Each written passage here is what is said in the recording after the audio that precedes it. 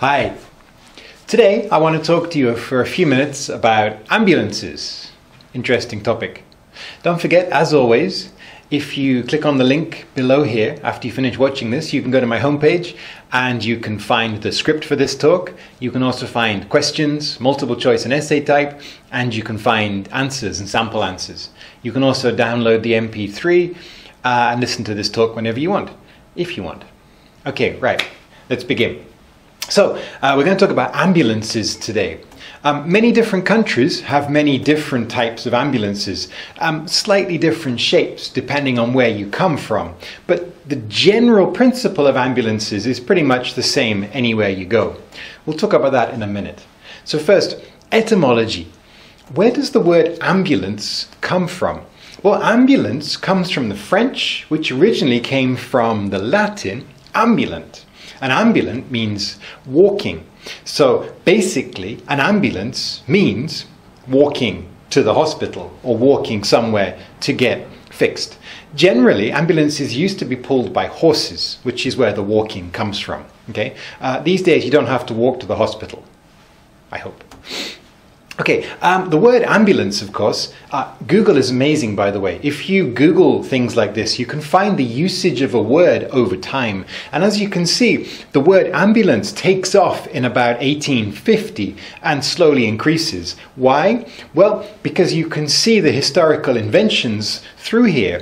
1850 is about when ambulances started. Then there's a lump in the First World War, there's a lump in the Second World War, and then we rise up to the current usage of the word ambulance. Um, with any word like this, you can Google the word and you can find how the word is attached to the history. It's very, very interesting. You should try it later. Okay, let's have a look at the history of ambulances. So, this is the very first kind of ambulance. Basically, you were put on a wooden cart and you were dragged to a hospital or somewhere where you could be helped hospitals weren't very advanced back there, of course. Now, when would you need this? Most people would need these after a battle, in a fight. However, during a fight, people were left to die on the battlefield. Ambulances, carts like this, were only used after the fight had finished. People would go in and they would see who was still alive, they would put them on these carts and they would take them to a hospital. These carts were also used to cart the dead as well. Okay, so um, in the 11th century, the Knights Hospitaller, um, a group of knights, they set up the first real hospitals. These were hospitals that were dedicated to helping sick people. These hospitals were on the way to the pilgrimage, pilgrimages. In the uh, 10th, 11th, 12th centuries, a lot of European knights went to fight in the Middle East to try and save the Middle East from the, uh, the invading Turks, Ottomans, I think. That could be the wrong people. Anyway, they were trying to save Jerusalem, save Jerusalem, bring it back into Christianity. But a lot of people were injured in those fights, so the Knights Hospitaller, they set up these hospitals along the way to try and help those people. Okay, so the first real kind of ambulance was this one, Larrey's Flying Ambulance. This was set up by a Frenchman, Dominique Jean Larrey. He was part of Napoleon's army. And during one of Napoleon's battles, he watched the battle and he saw how many people were injured and just left on the battlefield. And by the time the battle was over and they went to save these people, a large majority, a large percentage of them had actually died. He realized if they could actually go onto the battlefield and save people while the battle was going on, more people could be saved. So he petitioned Napoleon to get permission to go into the battlefield and to save people. And Napoleon gave him the permission. So Dominique Jean Larrey, he became the first person to send ambulances into a battlefield. The victims were loaded onto these carts and they were taken off the battlefield to be cared for. Uh, this is Napoleon, of course. 1832, the first civilian ambulances were invented. Up until that time, there were no real hospitals in cities and there were no real ambulances. If you were sick, you went to a local doctor. However, after about 1832, in New York, I think, the first ambulances were, after 1832, you start to get a system of ambulances. That means that emergency centres, hospitals, can start to be outside of the city. So instead of having one doctor for a few houses, you could start to have an, a, a hospital centre for a larger group of people. That meant that hospitals could specialise more and hospital care could improve more. So the first kind of ambulances were these. Again, they're still horse drawn carriages because, of course, we don't have motorised vehicles yet. People were still loaded onto them and they were carried off to a hospital uh, in American Civil War, the use of these uh, the, the, use of these ambulances really jumped. 1861 to 1865, the American Civil War. You may already know this, but in the American Civil War, more people were killed through infection and through disease than were actually killed in the fighting. So a lot of these people were carted off to hospitals, but they still died because hospitals were not very clean, not very sanitary, and not very good yet, uh, by modern standards, of course. So anyway, 1861, 1865, the American Civil War, the use of ambulances starts to increase. Okay, 1865, we have the first official ambulance service. Again, Bellevue Hospital, which I think is in New York. This was set up to provide fast emergency care. And the idea was to get these ambulances out of the hospitals inside 30 seconds. So you get a message, within 30 seconds they harness the horses and they're gone. They actually designed special yokes for the horses so the horses could be harnessed much faster. Now these ambulances, they only carried very basic care. They would carry splints for broken bones, they would carry a stomach pump to get out poisons and, and bad things, they would carry morphine, which was a painkiller, still is a painkiller, and they would carry brandy because brandy is the best known painkiller. And that's basically all they would carry. Again, the idea was to get the person to the hospital where they would be cared for. Okay, um, these ambulances became very, very popular. In 1870, they were called out uh, 1,401 times, but by 1873, they were being called out almost 4,500 times a year. Much more common, much more popular. And once this started to take off, it spread to other cities, of course. Um, around America and around the world, Europe too. 1899, we have the invention of the motorized engine. So now ambulances can be motorized. And this is a picture of one of the first motorized ambulances. Still carries very basic equipment, but it could get to the person a little bit faster than a horse. Not much faster yet. World War One is when uh, ambulance services, the technology really starts to take off. But again, still, there's no real care in the ambulance. The goal is still to get the person from the scene of the battle to a hospital as fast as possible. So we start to use motorized jeeps. Now, these, of course, are much faster than horses. They can also go where horses can't because they have more traction, more grip. Um, but again, so people would be injured in the battlefield, they'd be loaded into these ambulances, bang, to the hospital as fast as possible. After World War One, we start to get ambulances more mainstream in the cities. But because of World War One, there was a huge shortage of drivers. So for a while, these didn't start to take off. Um, in fact, a lot of funeral companies uh, ran an ambulance service. They would use their hearses um, the hearses used to carry a dead body to a funeral, and they would use hearses to carry injured people as well. I'm not sure I'd like to be carried in a hearse to a hospital, but they did do that. And that's actually why some American ambulances still have that hearse shape. Uh, World War II, this is when things start to change. World War II, we have much faster service, and we also have medics in the field. These are people who are trained to offer medical care to injured people at the battle scene. So they would be sent into the battle scene, they would try and care for you as much as possible there to stabilize you, and then bang, in an ambulance, off to a hospital as fast as possible. Um, so World War II is when we start to get a huge spike. Now, 1952 in the UK, there was a huge train accident. About 150 something people were killed, I think. But here is where we have a very large change in uh, ambulance services a lot of people died at the scene who could have been saved. They were transported to uh, hospitals, but they died before they got there. So the powers that be, the smart people, they realized if we could treat people at the scene, we could save more people. So they came up with a system called CPR.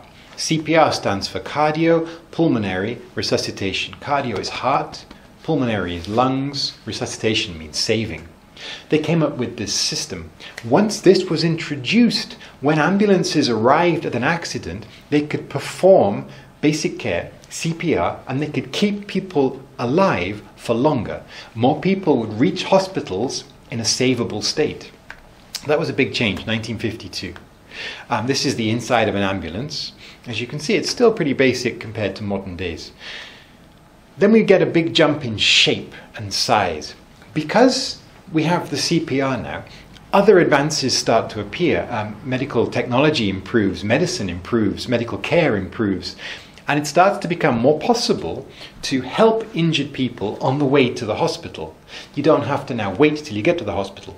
So, because of that, um, paramedics who are not doctors, paramedics who are trained in first aid, advanced first aid, they go to the scene and they work on the person in the ambulance to try and keep them alive.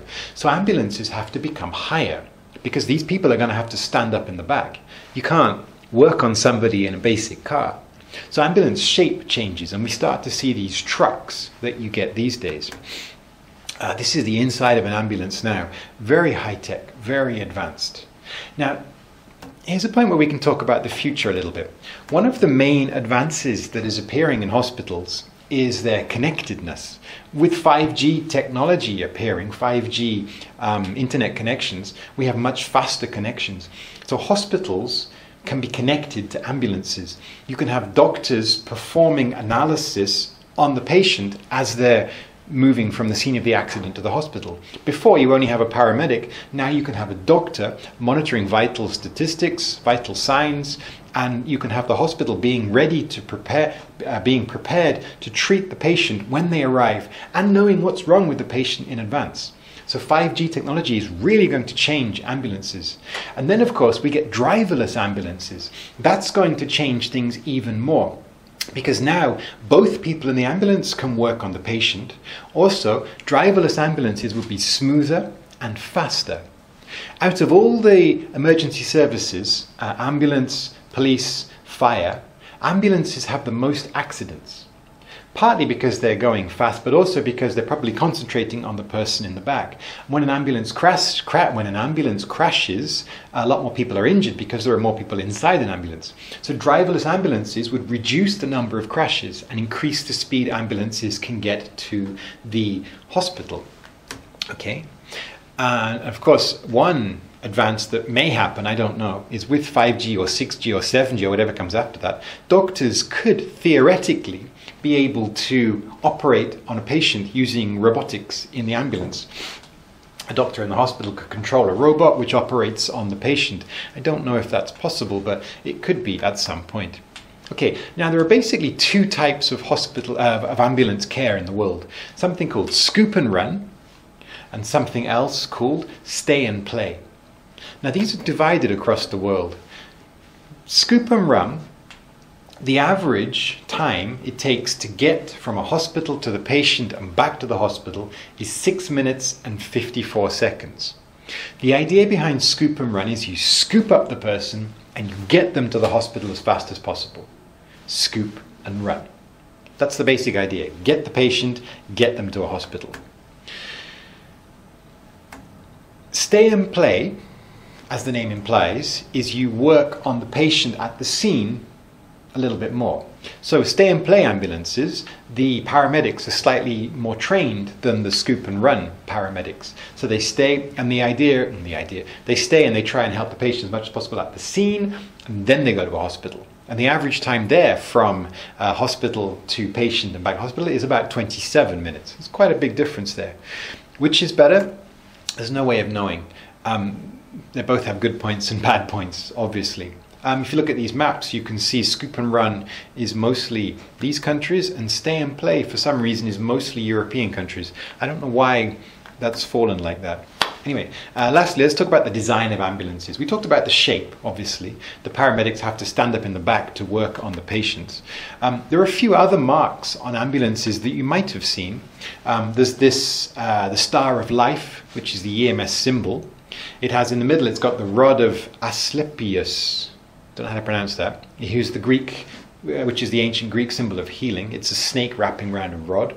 And we have the six points of life here. We have early detection, early reporting, early response, on scene care, care in transit, transfer to definitive care. And those, that's the star that paramedics, that ambulance crews work by. You might see that on the ambulances in your country, I don't know. Ambulances have a few other things. They're obviously very visible.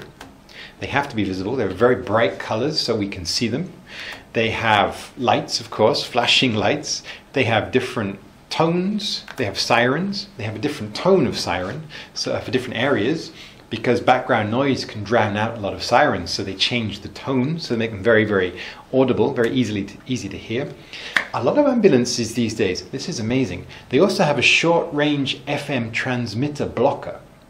So if you're listening to your radio and an ambulance is behind you, your radio will cut out and your car will go quiet. That's pretty cool, isn't it?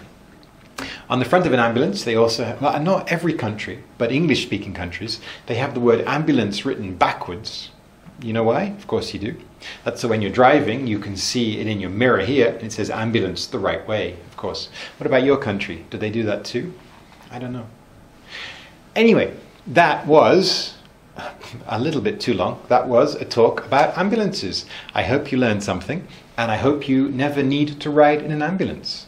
Remember, after this talk, if you go to my homepage, the link's underneath here, you can find the script for this talk, you can find questions, answers, and the MP3.